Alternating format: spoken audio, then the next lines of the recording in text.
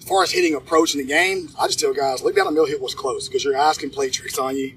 So, you know, if this is the middle of the plate, this is still close. This is still close. Now I've already covered 80% of the plate. Correct. I'm not worried about the corner until I got two strikes. Yeah. But if it's the middle, now I got this much plate to cover, and it doesn't it doesn't mess up my vision in my eyes because now if I'm looking here, I'm looking way out here, that makes the inside pitch look really inside. Yeah. I'm looking way in here, that makes the outside pitch. That's why you see big league guys take a pitch right down the middle Yeah. because they're looking they're looking too far away.